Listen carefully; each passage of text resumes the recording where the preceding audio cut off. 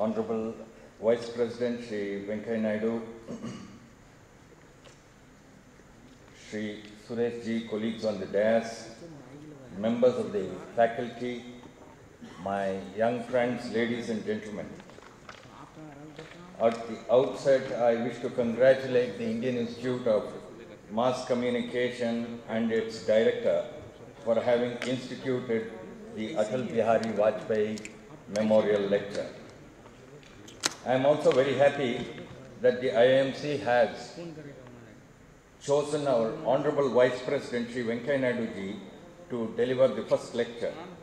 And I deem it a very special privilege, sir, to be part of this event and to be here with the Honorable Vice President and to listen to him on this important subject, especially when parliamentary elections have been announced.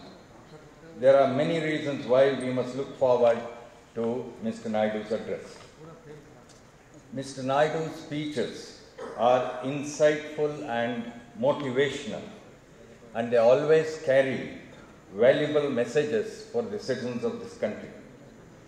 It is always a pleasure to listen to him because he has the tone and approach of a caring elder and he can deliver even harsh truths with a sense of humor. That is why he endears himself to his audiences. Mr. Naidu has already spoken in dozens of universities and academic institutions all over the country and inspired his audiences. It is therefore apt that IIMC, the premier media institution in the country, will get to hear him today. The second reason is that the topic for the first lecture, role of media in molding an enlightened electorate, is an issue on which he will have many things to say. As a person who has been in active politics for over 50 years, for about 50 years, Mr. Naidu has had his share of happiness and disappointments with the media over the years, but has always respected media independence and maintained a healthy relationship with the media. And last but not least, he is a quintessential Democrat who has seen the rough and tumble of politics. In fact, I have said this before and I wish to say it again. Our Honorable President Sri Ramnath Kovind, our Honorable Vice President Sri Venkaiah Naidu, and the Honorable Prime Minister Sri Narendra Modi have all grown up in trying and difficult circumstances in life. The fact that they now occupy the topmost public offices in the country is indeed a tribute to the civilizational and democratic traditions that have deep roots in this country.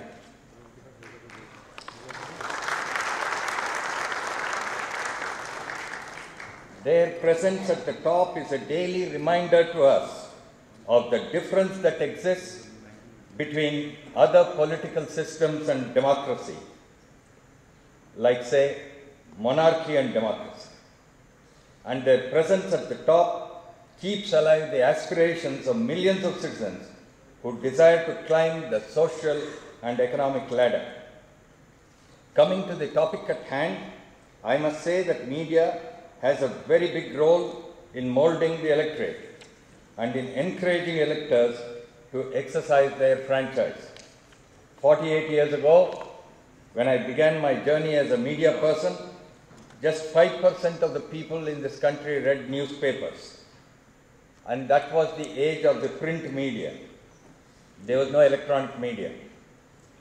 And that is why media was called the press. Even today we have a press conference, but actually it's now a media conference. And so, just 5% of the people read newspapers. And there was no television in those days. Since then, we have come a long way. The circulation of daily newspapers has risen spectacularly.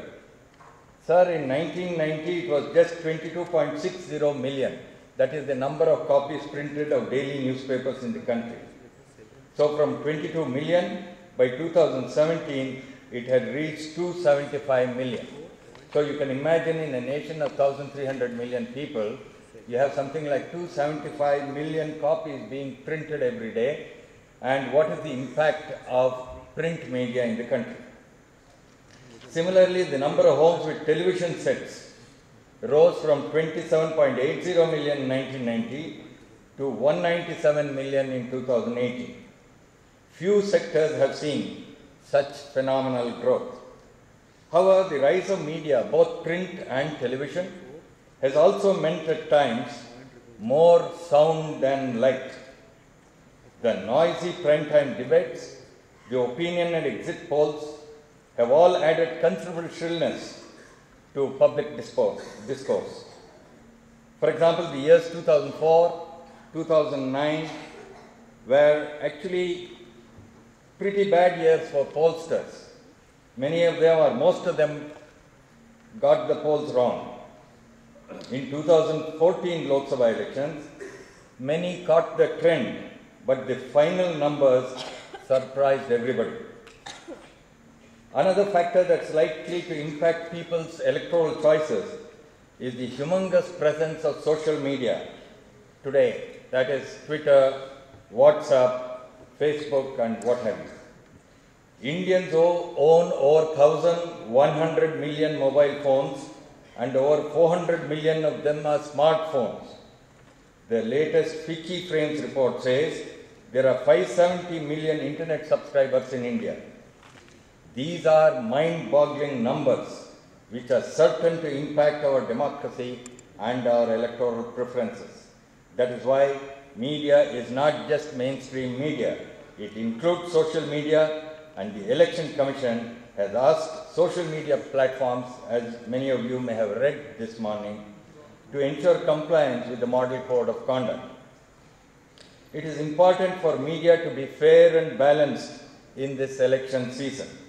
In Prasar Bharati, sir, we held a conference some weeks ago to acquaint all our editorial personnel with the guidelines issued by the Election Commission and to ensure that everybody gets uh, uh, equal airtime and a fair opportunity in our studios.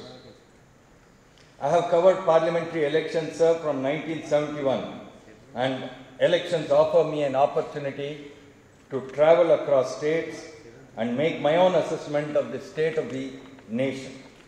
This is the best education a media person can get because apart from politics, one gets to see and understand the social dynamics and the economic condition of people.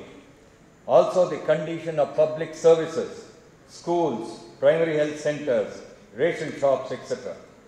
Therefore, the question is, how do we utilize this opportunity as media persons? And how do we conduct ourselves in the election season? Let us now hear our Honorable Vice President. Sir, sir, over to you, sir. Jai Hind.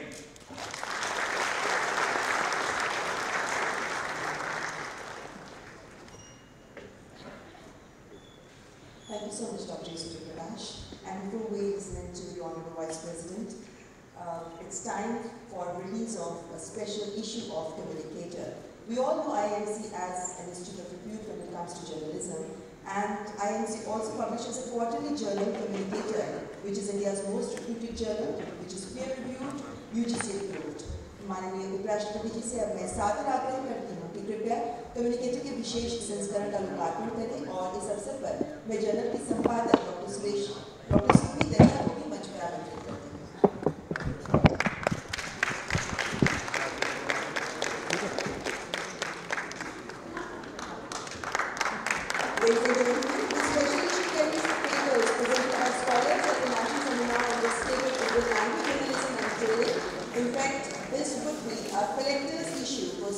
scholars and all the media persons across the country, as it would help understand language journalism at a time when it is growing by leaps and bounds.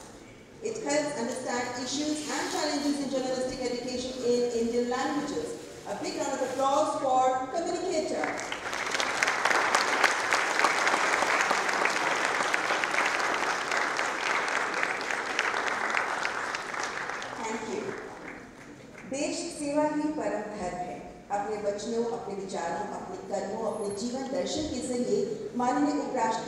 Venkaiah Naidu ji ने सही मायनों में इन सिद्धांतों को चरितार्थ किया है।